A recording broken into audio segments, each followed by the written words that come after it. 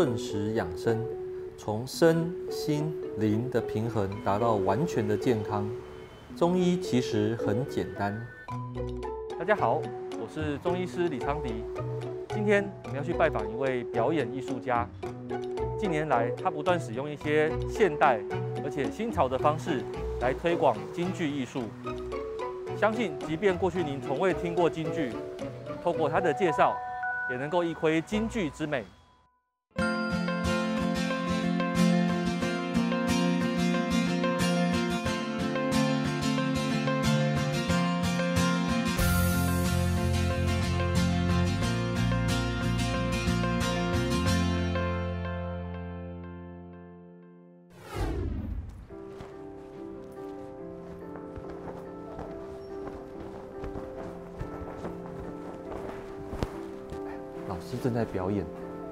不要打扰他，我们先看一下。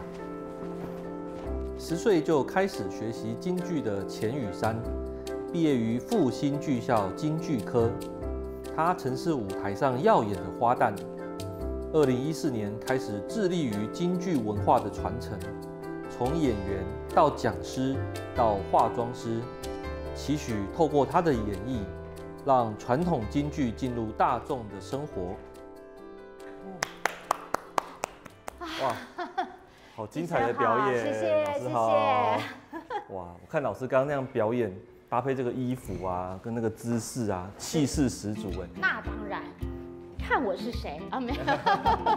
哎，那我老师我想要体验看看的话，帮我们这个机会。那太好啦！我希望所有的人都能够愿意来体验我们京剧。来，你穿穿看好不好？好啊好。黄。好，这个水袖呢，这种比较长的水袖就要一次，不像我们一般短的是这样子上来，那这样一次，一次把它收上来。哦，要收起来。对，一次收起来。哇，哎，有进步哎，很棒很棒很棒，非常的棒。哇，看没有这么困难，对不对？对对对。但是还是要经过很多的练习，然后。当然，我们在练这个动作的时候，就是这个功夫的时候，我们的大手臂通常都会非常的酸胀，非常的不舒服。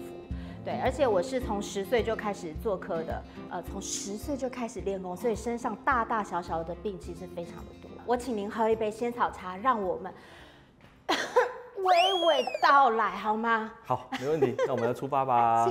好。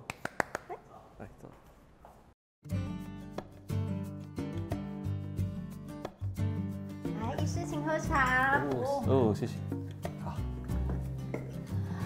啊。起坐，起坐，起坐，辛苦了。不会，可是真的酸痛每天都伴随着我太多年了。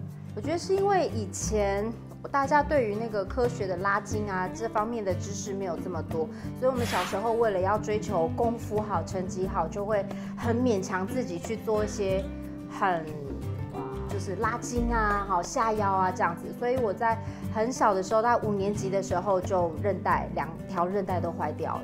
然后又到了国中的时候，又发现脊椎侧弯。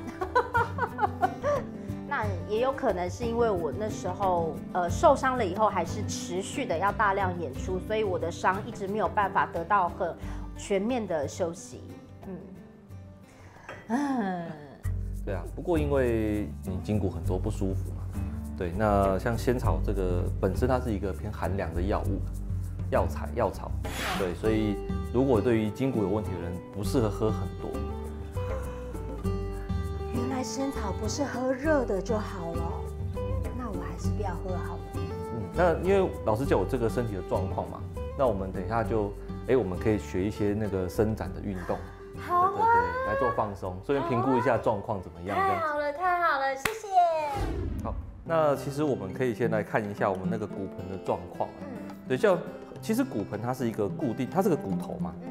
我们我很有没有听过骨盆前倾、骨盆后倾这个说法？有有。对，那骨盆前倾、后倾是谁造成的？其实是它周边的肌肉造成的，对不对？因为它自己是个不会动的东西哦。对，所以举例来讲，如果说像今天你的腰的状况很紧绷，对不对？它就会把骨头拉起来，等下你后面就把它拉起来。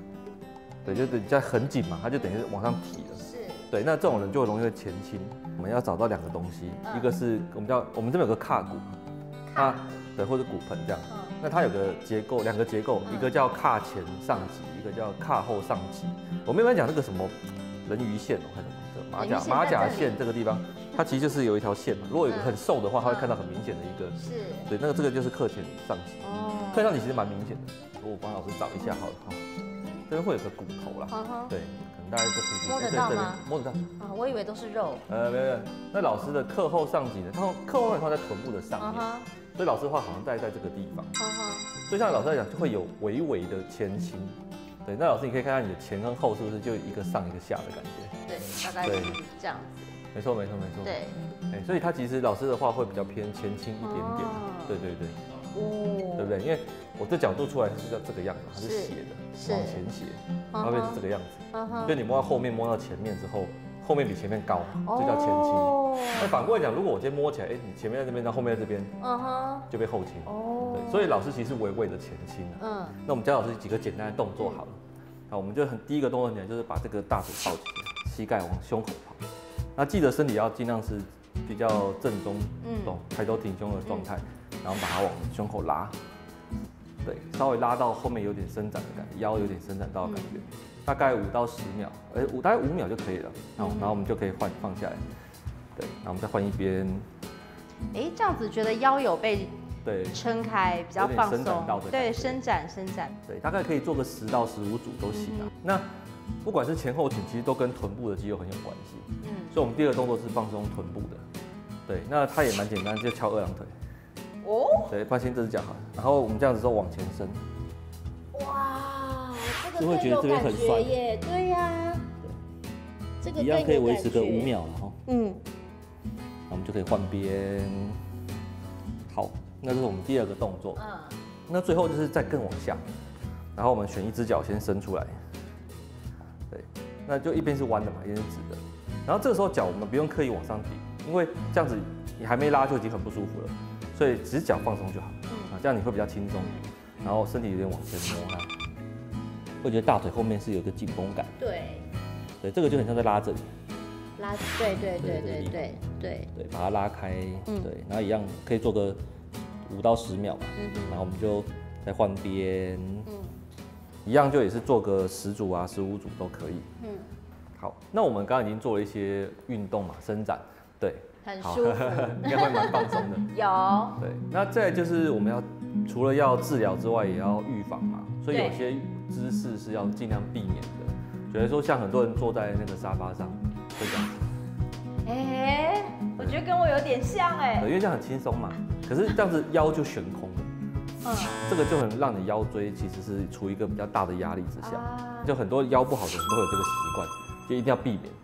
那英德老师，我其实因为我们刚聊了很多医学上的事情，但是难得来拜访老师，我听说老师有一个计划，就是可以帮体验那个跨脸。是，哦，麻烦老师。好，我就要来魔法变身了。好，好，那首先呢，我就是用那个我们京剧特殊的底彩，它要到你的脸上喽。老生的妆和我们女孩子蛋角的妆就不太一样，我们蛋角的妆就不会这么橘黄。老师，那像我这个脸型会适合什么样的装扮？嗯其实你的五官呐，脸型来讲，你是适合化小生的妆的，就是很俊美型的。但是呢，因为您本身的职业是医生，那医生呢，他也就是呃代表了很有权威、很有学识，所以在这个行当的分类里面呢，我们会觉得把它分在老生是比较合适的。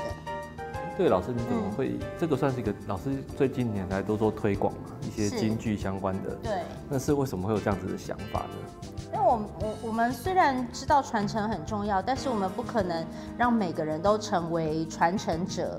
但是我们如果观众不够多的话，那势必传承者的路这条路就会很难走。所以我们就会希望能够有更多的观众。然后因为化妆这件事情啊，是一个人就可以完成的，所以我可以带着我的化妆品。就可以让很多人用最快速的时间去体验一个京剧的文化，然后是用不同的角度。嗯，哇，那老师这样化一个妆要多久啊？像现在画的这个老生妆啊，它比较简单，所以大概三十分钟左右就可以完成了。但是像如果是淡角儿的妆，啊，就是女孩子淡角儿的妆的话，那大概从化妆到包头大概要两个小时，甚至到两个多小时。所以像这样子，从准备到化妆要站的时间很长哎。对，而且我们是这样子歪的，对，这样子歪，然后耗着，所以会很对腰的伤害可能还蛮大的。对。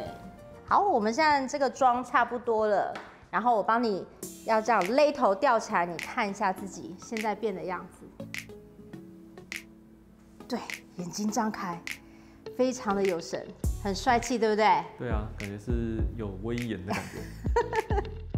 京剧的妆容真的很细腻，经过雨山一个多小时专业的装扮，加上服装和配件，我也快要不认识镜中的自己了。你现在戴的这个东西呢，叫做染口。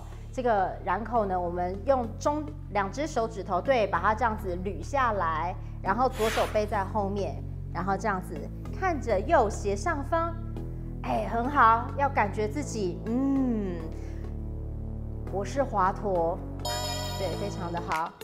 啊你要瞪大哦。跟着雨山学了几个动作，像不像三分样？看看我的 pose，拍起照来还是蛮有味道的。雨山想透过京剧扮相，加上写真摄影，来让大家认识京剧，真的是个很好的入门哦。哇哈哈哈哈哈！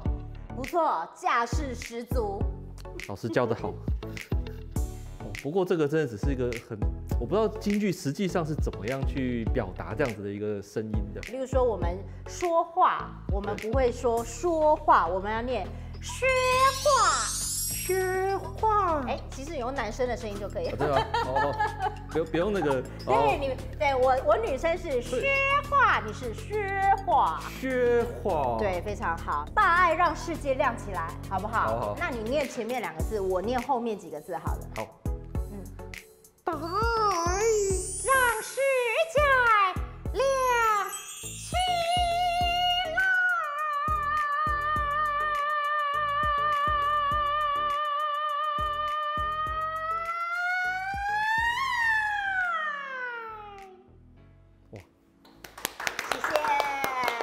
太厉害太厉害了！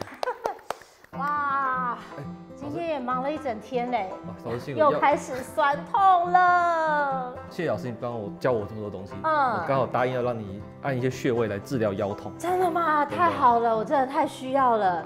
走，走来来，，老师请，哇，辛苦了辛苦了，请坐请坐。好，我们这个叫腰腿点，四五指的中间嗯，这个骨缝，要有效的按它的话，就必须用你的指指缝或是你的甚至指甲都可以。哦，对，这样按进去会有个很酸的位置，甚至会带痛，又酸又痛。哇，好痛哦！这个地方我特别痛哎。对，所以代表老师你的腰跟背的那附近可能是，对对对对对是不好的对对，所以像可以，我们可以一边按着这个穴位，一边去试着活动那个动不了的地方。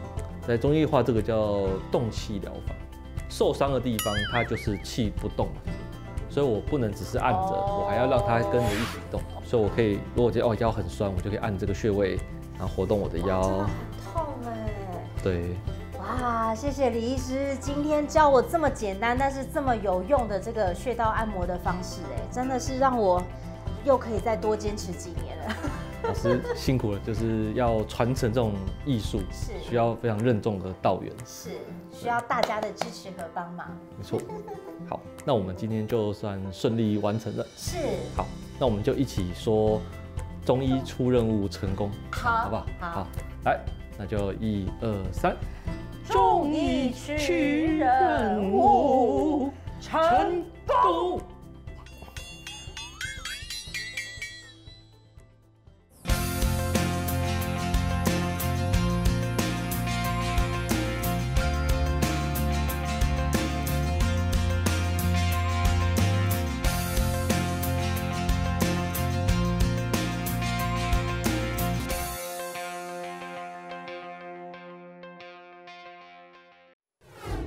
大家好，我是聂雅轩中医师。刚才在上一段节目中呢，京剧演员全以山，尤其李昌迪医师喝了一杯仙草茶。其实啊，仙草呢，不仅仅作为饮料呢，它在台湾民间呢，还常被用来做有清热解暑的一个保健植物哦。相传在古早交通不便的年代，人们来往于乡间或都城，都只能靠着双腿步行。尤其在炎热的夏天，又要赶路的时候，很容易中暑生病。于是有些善心人士就会将一种具有特殊香味的草类植物，经过晒干及熬煮过后，提供给这些中暑的路人饮用。喝完后，他们的身体很快就恢复元气了。受惠的路人认为这种具有特殊香气的草，应该是仙人所赐予的，于是就将这些能治病的草称为仙草，或是仙人草。他们林医师好像要来了哦，哎，那当然是哦。Hello，哎哎，你就是林医师吧？哎，我是我是哎，我是种仙草的农友吴意义。哦，你好。农场的主人吴义以以环境永续及友善耕种为宗旨，许许为后代的子孙保有一块净土。努力的坚持下，成功获得了 MOA 的有机认证，也当选了一百零五年的全国百大青农。哎，林医师，请坐。谢谢谢谢林医师请喝茶啊。，谢谢。哇，是冰的，对，来喝喝看。哇，真的很好喝哎，就是这样子。多喝几口。差不多。哇，这个罐装的品质跟一般那个现场煮的很像哎，品质非常的好哎。对啊，对啊，这个是工厂用我们的有机仙草下去熬煮的，对，仙草茶。所以你们的仙草品质的话，已经非常的高级。还好还好。哎，等一下你不是要过去采仙草吗？哦，对对，差点忘了。对。啊，今天的 就是要采仙草啊 他啊。今天要下下田工作的话，一定要带大罐的。当然当然，一罐可能不够，我帮你这边多带一罐啊。好的。，带两罐。哎，带我带你去采仙草走走。没事，这这里就是我的仙草田。啊，大哥，这看起来很像杂草田哎。是啊？有啊，前面这个就是仙草了，你不知道吗？哦，这个是仙草哦。看起来像杂草吧？它是不地性的，所以你看起来会像比较像杂草一样。哦。啊，等一下我教你怎么分辨杂草跟采收仙草。哦，好啊，好啊。往里面走。哎，所以刚刚那个仙草茶喝起来有一股清香的味道，是因为那个叶子的关系吗？哎，不是哦，像那个它的味道是来自于它的梗，叶子就是它的胶质。你看它的胶质，这揉一揉它就会黏黏的。哦，你看看它叶子就胶质有没有？很黏黏的感觉有没有？哦看起来真的很哦，对对，很黏。哦，这个就是它的胶质。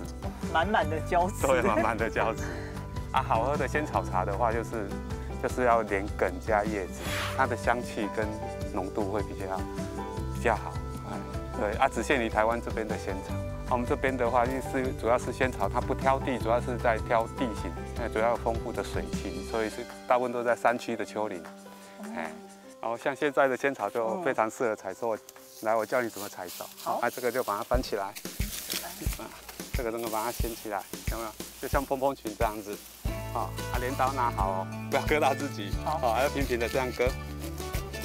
哦，要稍微用点用点力这样子。把它割起来，对，这样好了，对不对？稍微敲一下，嗯，就这样子。就可以拿起来了。这个可以拿起来。哇，哎，那我也我也来试试看一个可以啊，好这个很大哦，你要小心哦。对，要这个翻。呀，对对，翻起来，翻起来。你看，头在这里，你看。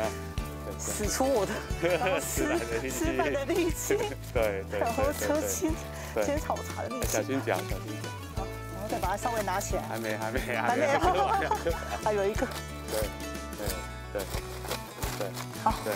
再来的话，因为要把它晒得均匀，所以你对这样子拿起来有没有？对。甩一下，哦，哎，甩一下，对一下，就是嘿，有没有？很帅气。对对对，很帅气的把呀。它甩开。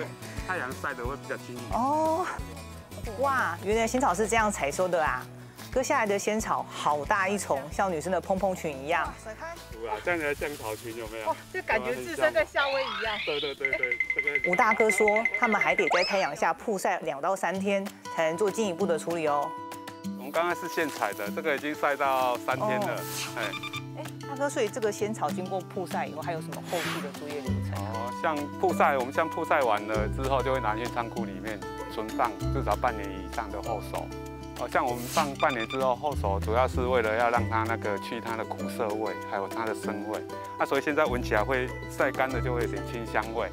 所以仙草要放越久越好啦，要放越久越沉，对，越香。嘿，怎么起来的这样？对，等一下回去教你怎么煮煮仙草茶。好啊。像我们现在的话，要煮仙草茶，一定要把仙草洗干净。像这我都洗好了，洗到两到三遍。把那个沙子啊，一些杂质把它洗掉，还有土把它洗掉。它洗好的话，这样子大概两千 CC 的水，好，我们这个五六十五五六十克，对对对，我就把它就弄进去就好了。好，这样一碗水，好，一碗的外锅水，嗯，再把它放进去。像这个要煮两遍，一般煮的话，为什么要煮两次？是因为我们要煮的越久，它的胶质会越出来。哎，要不然的话，你那胶质没出来，它的营养分成分都没出来，这样子。哦，原来如此。刚刚喝到罐装的仙草茶，那待会就可以喝到现煮的一个仙草茶了。哇！这个现场煮的比那个罐罐装的好喝很多哎。是啊是啊，不止哦，现场并只有煮茶，我儿子还帮你准备了仙草仙草蛋，请用，还有那个仙草披萨。所以这个是仙草做的茶叶蛋，我现在闻一下，哇，很香哎，很好吃哎。嗯，那这个是？因为这是我吃素，所以我也做了一个素的仙草披萨。哦，很棒哎，这个仙草可以融入到那个焗烤里面。而且它其实闻起来有个淡淡的清香啊，而且哎，吃素很棒啊，可以环保啊，体内的一个清洁的一个作用啊。对了，你是冬天喝，把它煮成热仙草这样有差别吗？其实那个仙草啊，它不是凉的，或者是把它做成烧仙草，它加热过后还是没有办法改变它的属性。所以像是那种体质比较虚弱的，然后手脚冰冷啊，或是容易拉肚子、怕冷的人呢，其实都不适合吃烧仙草啦，冬天不适合饮用。可是呢，我们可以以仙草茶作为这个基底，然后加入几味中药材，把它做成仙草养生茶，就可以改变它寒冷的一个特性啊。哎，现在要回馈给那个吴大哥啊，制作一个仙草养生茶。那首先呢，就要准备仙草汁五百 CC，然后呢，加入适量的红枣，然后呢，再加入桂圆，然后煮滚之后呢。可以转到中小火，然后再煮十分钟，之后呢，再加入我们的枸杞，然后再煮五分钟，我们的仙草养生茶就完成了。